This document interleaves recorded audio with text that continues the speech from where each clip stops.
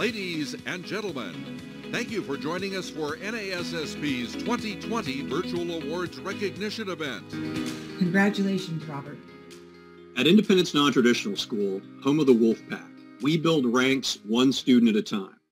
Our student-centered approach to education ensures each learner is afforded a personalized learning plan specific to their needs, interests, and goals. Our mission of eliminating all barriers to equity creates a student body that thrives in any educational environment, be it virtual, hybrid, or traditional.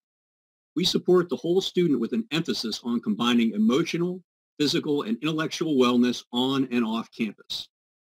Relationships are our foundation. We are family. Our pack is strong and we always welcome new wolves to our den. We are transparent, honest, and forthright in our interactions, and through this communication, establish ethics that build character in our elementary, middle, and high school students. I am honored to accept the NASSP Digital Principal of the Year Award on my school community's behalf, as this is our achievement, not mine.